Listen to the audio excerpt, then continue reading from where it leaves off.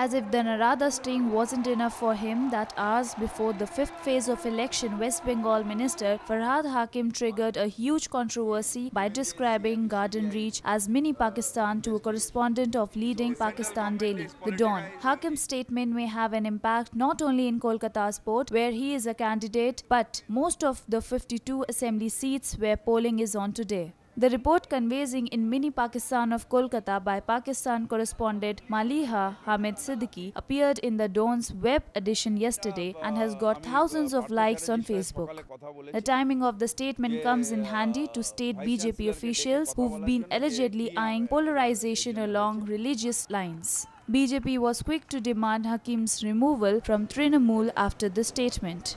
TMC was wary of commenting on it. However, in his defense, Hakim said, It's a blatant attempt to foment communal tension ahead of the polls. I will not elaborate on this issue because it is beneath my dignity to do so. If PM Modi can visit Pakistan four times, how does it matter if one Firhad Hakim gives a mini Pakistan statement?